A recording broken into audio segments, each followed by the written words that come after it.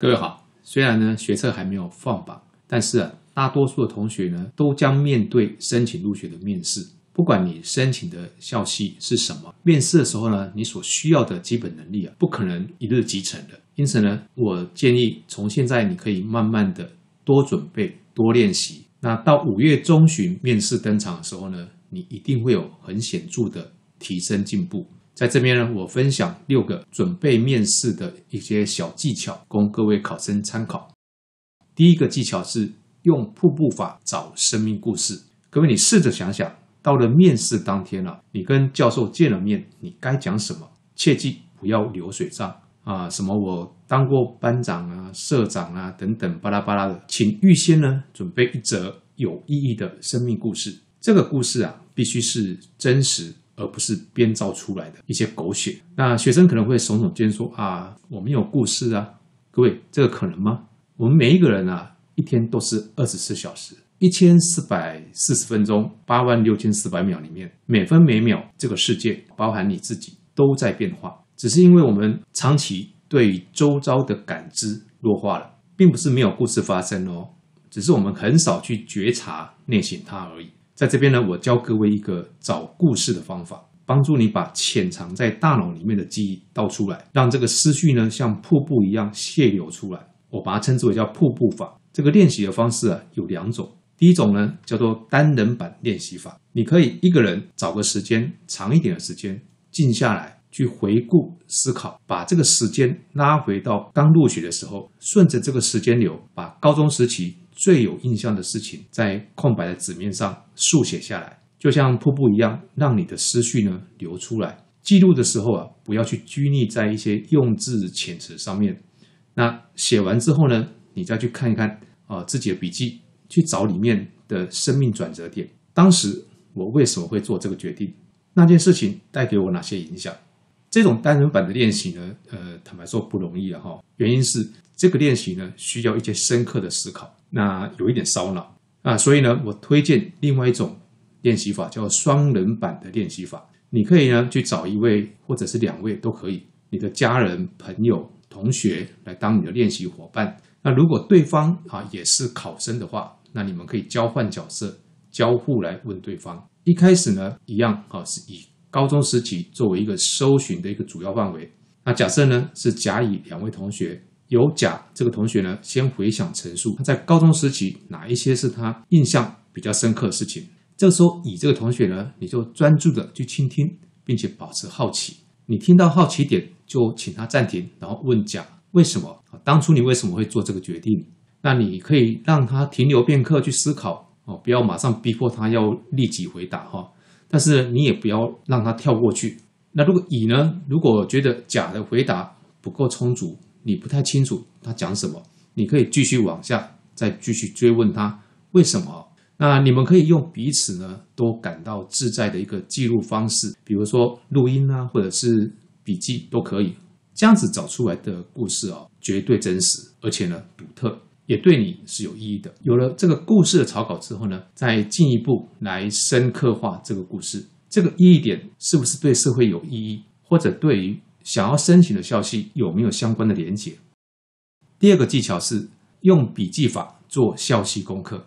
各位对于要申请的校系啊，你要充满的好奇，要花时间啊去理解这个系的发展样貌。建议你呢不要把系的网站当成像看小说一样，你应该要拿着笔跟笔记，边看边记录，写下自己的想法跟疑问。各位，你试着想想看，你嘴巴里面告诉教授说，我很想念这个科系。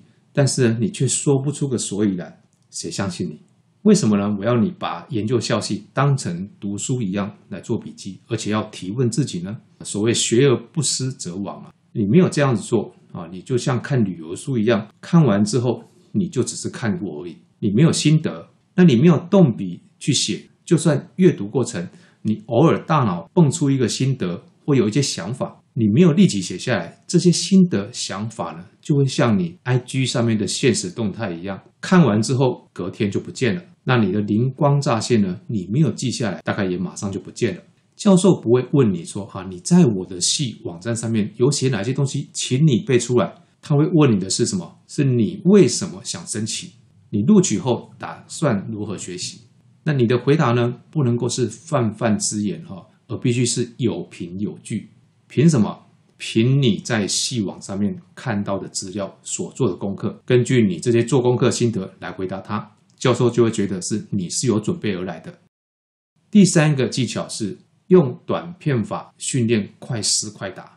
这段时间呢，我建议你每天呐，应该要固定一些时间来阅读一些报章杂志啊，例如说像商周啦，或者是天下等等啊，都可以了解生活、社会、国际的议题。啊，不要只是啊刷刷动态、打打手游。我不是要你去抓这个什么十四题啊，而是要你去把大脑它的思考功能嘛热机，去锐化你自己啊。因为长时间埋首书堆、钝化已久的思维，你在看议题的时候啊，到底有没有自己的想法？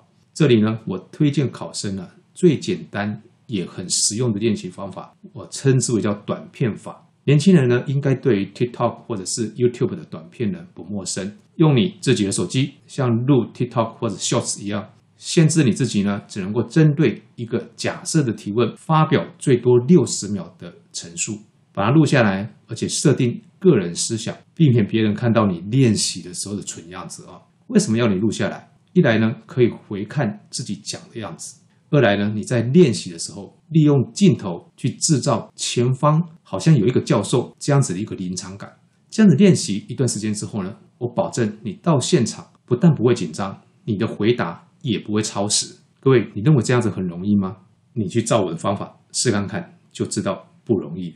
但是这个就是真实，你没有练习，你到面试现场，你的表现肯定会跟你第一次短片练习录下来的结果一样，一样的糟糕。回放影片的另外一个用处呢，也是让你自己看看你自己这样子的回答是不是言之有物，你的讲话的语调音量能不能够让人家想听下去，还是像 YouTube 上面的一些烂影片一样的无聊，无聊到想跳下一步。那这个时候教授心里面的 OS 啊，就是赶快换下一个吧。六十秒呢，只是训练你简洁不超时，但是你的陈述内容还应该要生动有趣。该如何去衡量呢？建议你在回放的时候，假设你自己就是听众，你的前三十秒的讲话是不是能够留住听众的注意力呢？如果连你自己都很难认同的话，我想别人的想法也差不多。那如果你担心你是属于自我感觉良好那一种的，你可以把练习的短片设定为跟特定朋友分享，但是不公开，然后把连结呢提供给同学或老师，请他们给你回馈。当然不是所有提问都一定能够在一分钟内讲完，但到底什么叫讲完呢？啊，也很难有一个正确的说法。通常这种短时间的面试啊，是在博印象，而不是在比论文。所以前三十秒呢，就已经决定胜负了。附带一提，练习的时候呢，要你限制在六十秒内去陈述。那因为这些问题呢，是你已经预先知道了，或者是自问自答，你已经想好答案的才录。所以你的语速会比平常还快。到了面试现场的时候呢，建议你可以稍微放慢语速，先专心听评审问什么，不要教授还没问完你就抢答。记住，你不是参加百万小学堂啊！而且呢，这样子呢会给人没礼貌的印象。只要你愿意跳出舒适圈，相信经过这样一段时间练习，你的快思快答的能力一定能够帮助你在面试里面得心应手。第四个技巧是。不虚不假，你就能够有自信。所有师长都会告诉你啊，面试的时候呢，你要展现出啊自信啊，要稳定啊。但是你就是做不到啊？为什么？有两种可能。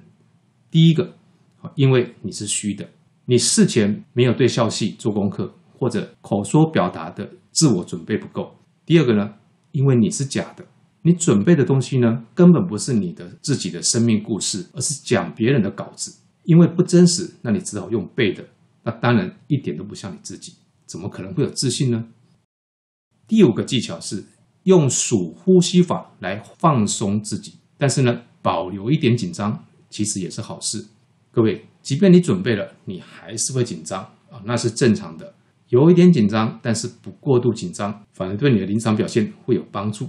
所以啊，不要幻想你会完全不紧张，那是不可能也不必要的。这边我教你一个小孩都会的方法，叫做数呼吸放松法，做法很简单啊，不仅考生可以练习啊，呃，任何人呃，你想要化解紧张或平静心情都适用。这个做法呢，是你站着或坐着都可以。